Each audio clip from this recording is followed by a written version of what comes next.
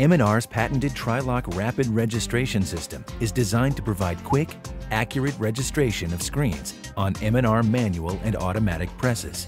The Tri-Loc system components consist of the exposure unit master frame, two pin bars and carrier sheets, a Tri-Loc pallet, and a Tri-Loc pallet stop. The first pin bar is mounted on the light table to allow the films to be precisely aligned to each other. The carrier sheets register to the pin bar, and the films are taped to the carrier sheets. By using a grid or a set of alignment marks, the films are registered to each other. The exposure unit master frame holds each screen in exactly the same position in reference to the second pin bar by using a combination of spring-loaded push pins and precisely positioned stop blocks. The pin bar holds each film in registration to the others during the exposure process.